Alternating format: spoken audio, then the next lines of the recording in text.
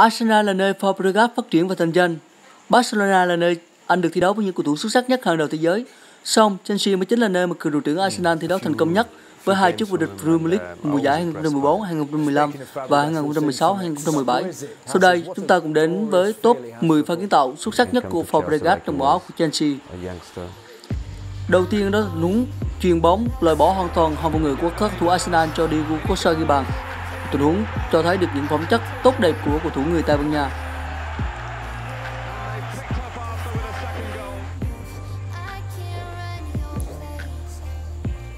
Tiếp theo, ở pha kiến tạo thứ hai này thì ngoài việc chạy chỗ và chọn vị trí thông minh, Fabregas đã có đường can ngang không thể tốt hơn cho Willian trong thế đối mặt với khung thành trống, tình huống đẩy bóng rất dễ dàng của thủ người Brazil.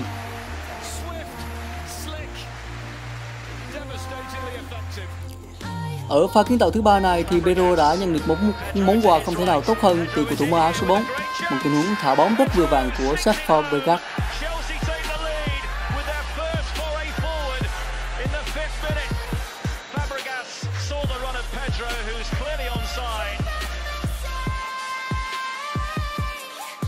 Ở pha kiến tạo thứ tư này thì Fabregas đã có một tình huống kiến tạo đỉnh cao dành cho Euclid Puerta. Tình huống băng vào đánh đầu cẩn thận. Một pha vả miếng ngồi xuất sắc của Fabregas. Tiếp theo, ở pha kiến tạo thứ năm này thì Fabregas tiếp tục có tình huống thả bóng rất nhẹ nhàng nhưng hiệu quả dành cho Diego Costa. Một tình huống thả bóng vào khe giữa trung vệ và hậu vệ biên của cầu thủ người Tây Ban Nha. Cùng đây là tình huống thả bóng không thể tuyệt vời hơn của Fabregas. Tình huống Fabregas đã đặt vào sút lơ vào một tư thế không thể nào không ghi bàn.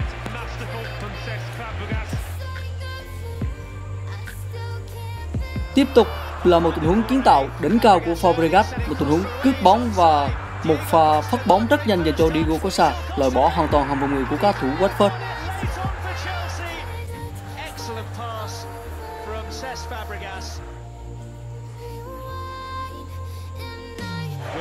Ở pha kiến tạo này thì Fabregas như có con mắt ở phía sau đầu.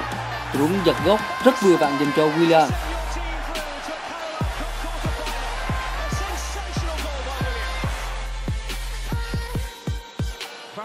Tiếp theo là tình huống Fabregas đã phát động tấn công trước khi có tình phối hợp rất đẹp và đường can vào không thể nào tốt hơn dành cho đồng đội bên trong.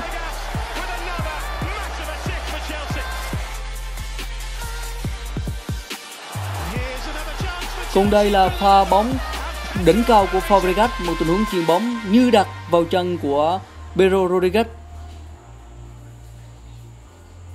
Vừa rồi chúng ta vừa đến với top 10 pha kiến tạo hàng đầu của Fabregas.